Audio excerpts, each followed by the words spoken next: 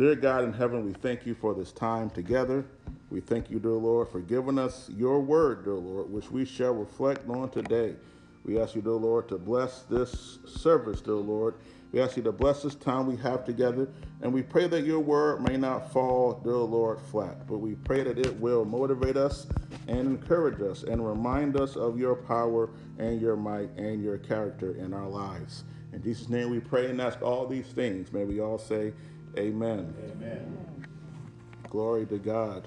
Our scripture for today, which was read so eloquently by Reverend Dr. Louise Beeman, comes from Psalm 121. Oh, before I read the scripture, I, I would be remiss if I did not thank Reverend Dr. Amen. Beeman for the job well done she did with the Black History program last month. Amen. Thank you, Reverend Dr. Beeman. Yes, thank you. It's wonderful that uh, she takes that on and reminds us that before there was American history, there was what? Black, Black history. Glory to God. Wonderful. Uh, our text for today uh, is Psalm 121, which reads, I lift up my eyes to the hills. From where will my help come? My help comes from the Lord who made heaven and earth. He will not let your foot be moved. He who keeps you will not slumber. He who keeps Israel will neither slumber nor sleep. The Lord is your keeper, the Lord is your shade at your right hand. The sun shall not strike you uh, by day, nor the moon by night. The Lord will keep you from all evil. He will keep you, uh, he will keep your life. The Lord will keep your going out and your coming in from this time on and forevermore. I would like to take a moment of your time today to preach from the title, Who Can I Run To? Who Can I Run To? Well, sisters, I was, I was born in the 80s. Um, some of you were in high school in the 80s. Some of you were graduating college, getting married. I was being born. I was born in the 80s, and it meant that I grew up in the 90s.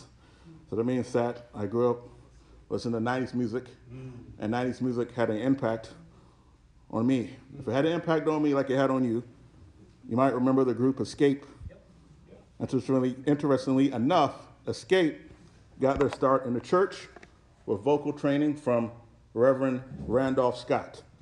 Soon, their talented group got noticed from secular commercial labels, and eventually, mega producer Jermaine Dupri got a hold of them, and the rest is history.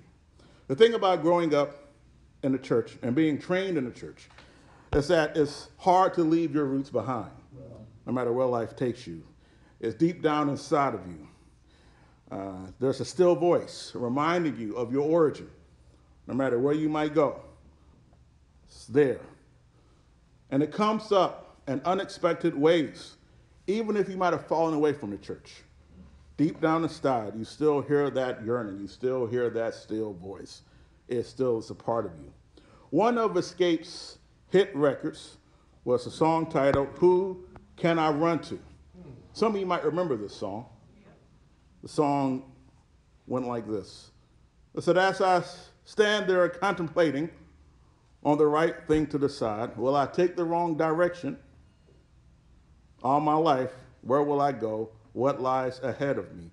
I have a strong determination and I'm not afraid of change. I've yet to find that someone who can who would care to satisfy me, to stay right by me. Who can I run to to share this empty space? Who can I run to when I need love? Who can I run to to fill this empty space with laughter? Who can I run to when I need love? You know, the interesting part about these lyrics is that with just a little bit of tweaking, it could be a gospel song. Because it poses an important question who can I run to? Who can I run to? Who can you run to when you feel alone? Who can you run to when you feel abandoned? Who can you run to when you feel betrayed? Who can you run to when you feel lost? Who can you run to when you feel persecuted? Who can you run to when you feel abused? Who can you run to when you feel forgotten? Who can you run to when you feel confused? Who can you run to when you feel like you've given them the best you've got? Yet, they still seem ungrateful and unsupportive. Who can you run to when you feel you cannot carry on? Psalm 121 begins with a question from the author. The psalmist, who appears to be in a moment of difficulty, poses this question Where does my help come from? Another way he could have put it is, Who can I run to? The remainder of the verses in the psalm answer that question while detailing the nature of God. The answer is that his help comes from God. However, the nature of God goes beyond just a helper. God is also reliable. God is a protector, and God is our Savior. And God's love extends to multiple areas of the psalmist's life and to ours. And I'm here to tell you today who you can run to. I'm here to tell you today that you are not alone, that you are not abandoned, that you are not left for dead, that God is still in your life, and that God is still with you. As we read Psalm 121, we are reminded that it describes the character of God, the God whom we serve. We serve a good God who was a helper, who was reliable, a protector, and a savior. And today we discuss the character of God. And as we examine the character of God, let us be reminded of how much God deserves our praise and our worship because of his love for us. First, we will discuss God as helper. Secondly, we will discuss the reliability of God. Third, we will discuss God as our protector. And finally, we will look at God as our Savior. I just want to make it clear today uh, that you don't have to run to the bottle. I want to make it clear that you don't have to run to the gentleman's club. Can we keep it real? All right, brother. I want to make it clear that you don't have to run to drugs and drug addiction. You don't have to run to the bar. You don't have to run to anger. You don't have to run to gambling. You don't have to run to adultery. You don't have to run to fornication. You don't have to run to sin when you need love. Well, well. You simply must run to God because God is your helper. Psalm 121 begins with an immediate question and answer. Psalms 121, stanza 1 and 2 says, I lift up my eyes to the hills. From where will my help come? My help comes from the Lord who made heaven and her earth. Here we have a characterization of God as helper who comes to the aid of the psalmist in his time of need. Throughout the Bible, we can find plenty examples of God as helper. But do you know why the psalmist has to look up? Do you know why the psalmist has to look up? Right. The psalmist has to look up because he had been looking down. Oh, and I don't know if anyone here has ever looked down before. Mm. Look down because maybe you were not down. Look down because you've been discouraged. Look down because you've lost hope. Mm. The psalmist, for whatever reason, is looking down. Mm. All sorts of things can cause you to look down. Health crisis will have you looking down. Financial crisis will have you looking down. Mm-hmm. Relationship problems will have you looking down. Problems on the job will mm-hmm. have you looking down. Problems, even with church folks, believe it or not, will have you looking down. Who can you run to in those moments when you're looking down? Who did Paul and Silas run to?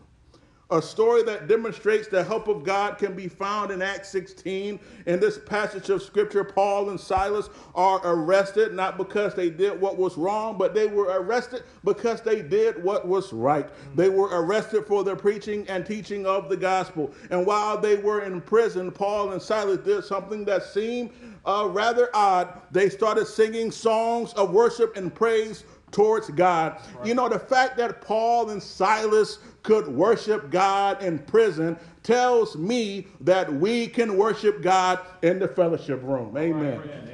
Glory to God. Glory to God. Glory to God. I thought everybody started clapping for that, but it's okay. It's okay. But yeah, I'm, I'm going to praise him in the fellowship room, and I will also praise him in the prison. I will praise him uh, lost in the jungle. I will praise him on the airplane. I don't care where we are located. We can always praise the Lord.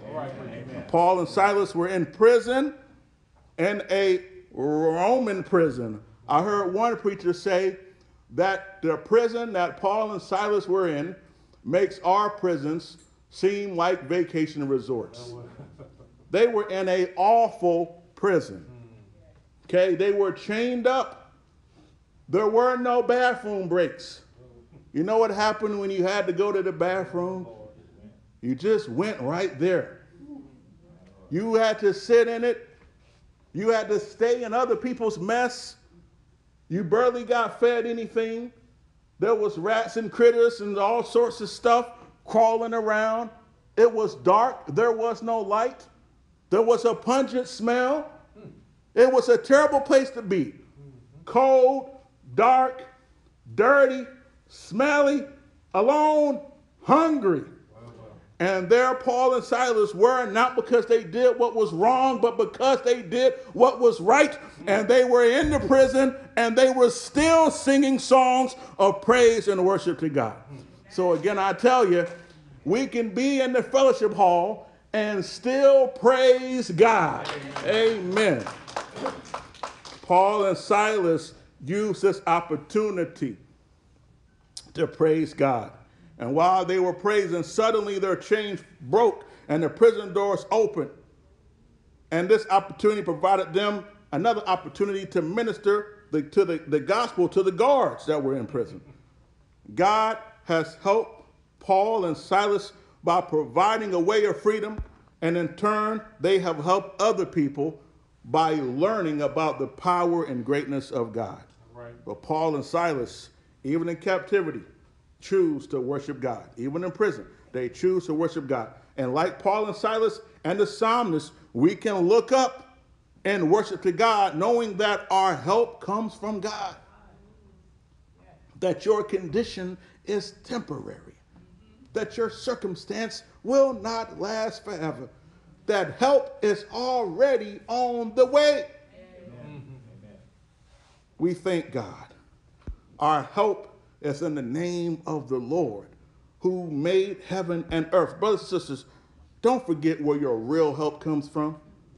Your real help comes from God. Women will let you down. Men will let you down. Men will break your heart. Women will break your heart. Women will abandon you. Men will abandon you.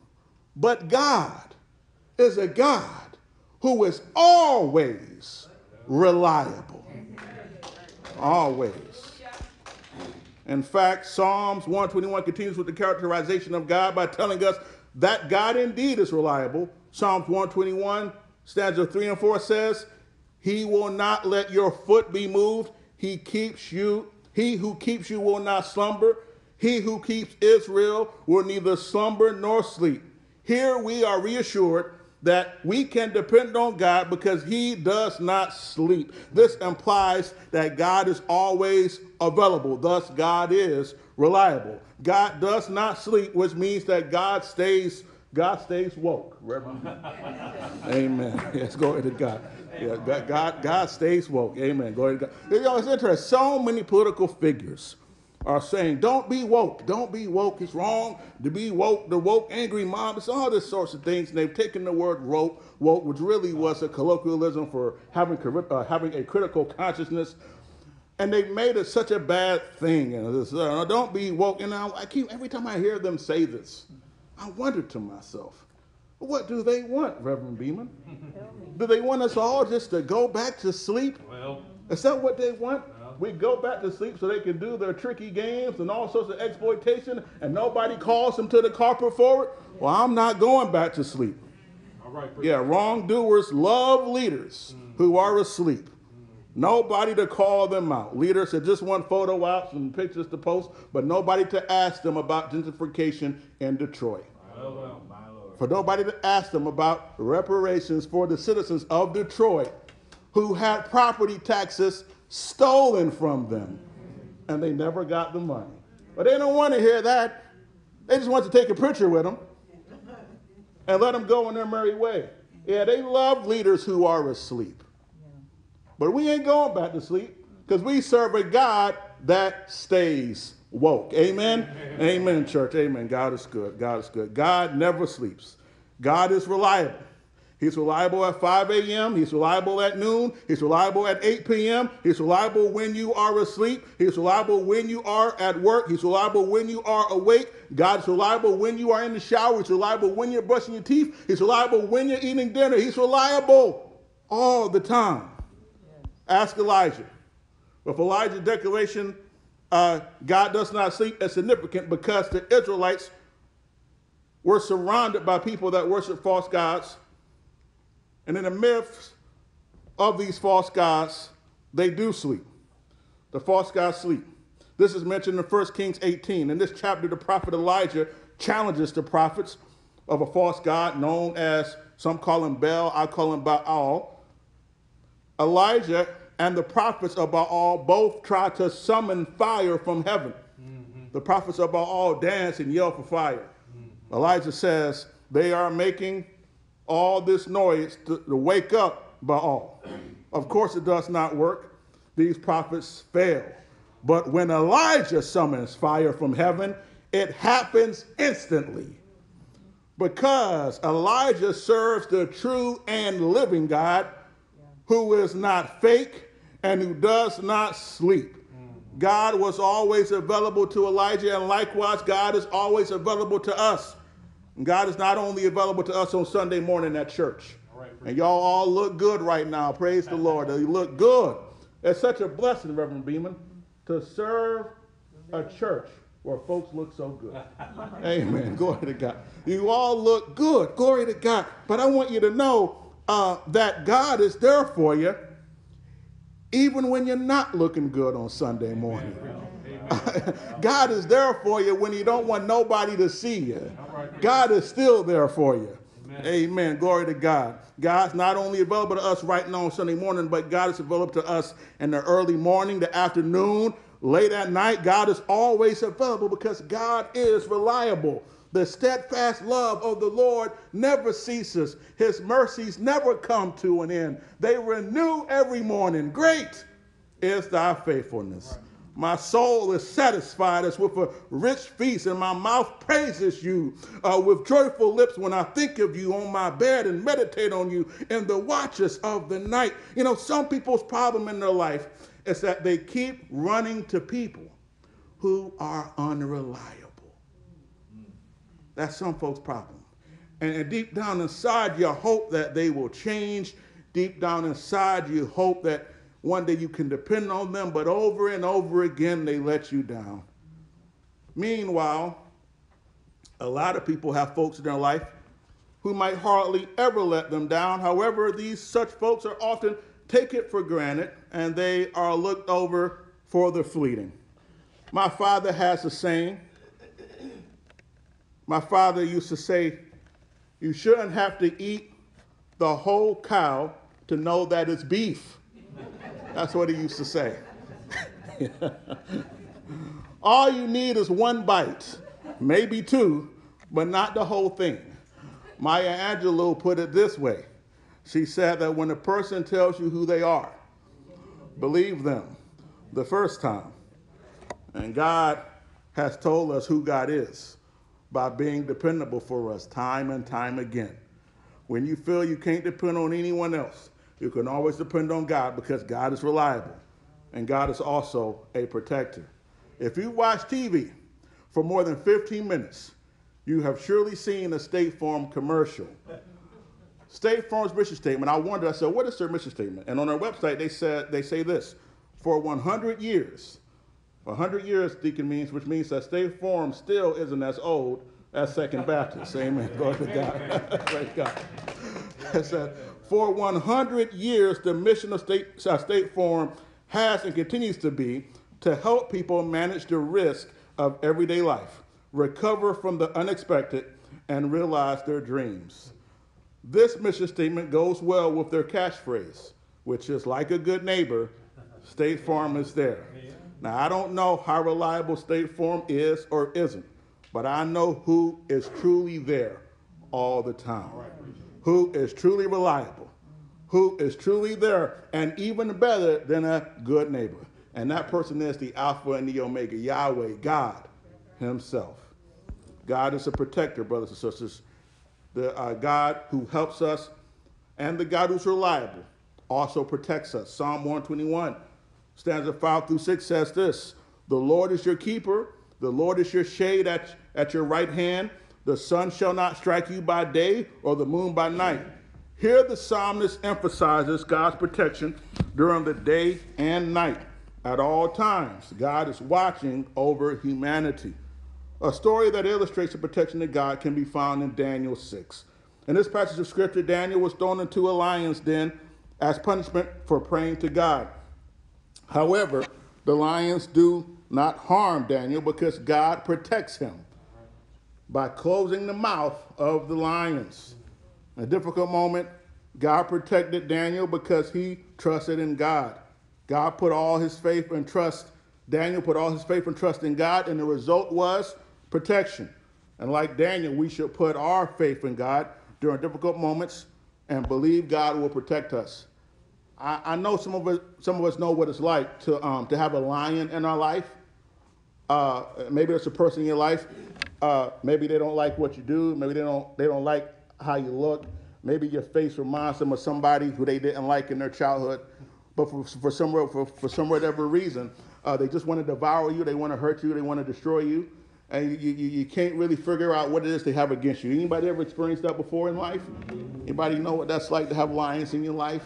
Lions in your life, and somebody just want to devour you, just want to tear you stress. You don't even know what the deal is. What I even do to this person? What I ever do to them? They just want to tear you to stress. You don't even know why a lion's in your life. And those are lions that you know. Mm. There's other lions that, that, that hate your guts, and you don't even know it. Some of us have been in lion's dens and we didn't even know it. They had a plan for you before you even entered that meeting. They had something they wanted to do. But God, before you even got there, shut the mouth of the lion because you knew that God was your protector and you had faith. So God protected you from the evildoers in your life.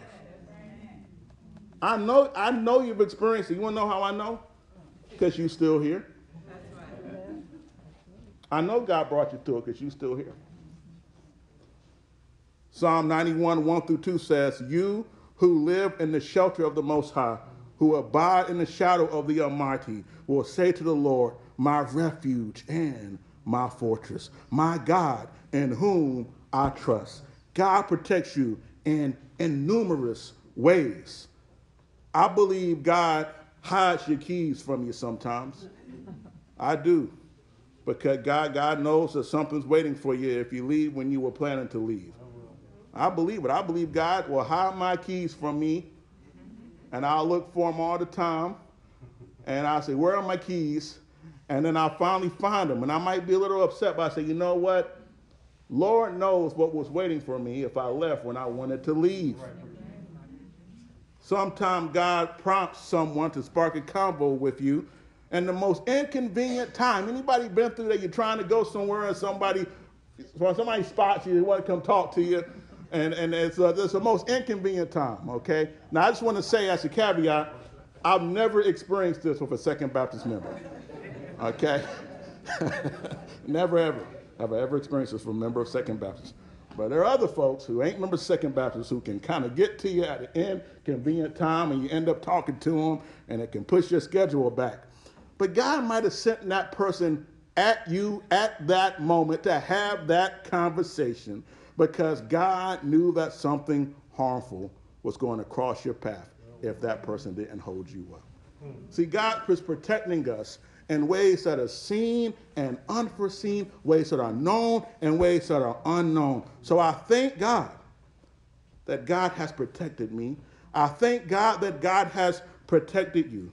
I know I'm here today before you only by the grace of God. And we can all be humble enough to admit it, that's why we're all here today. It is only by the grace of God that we sit here today.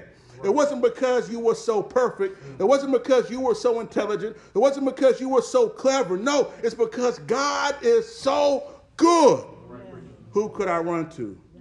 God.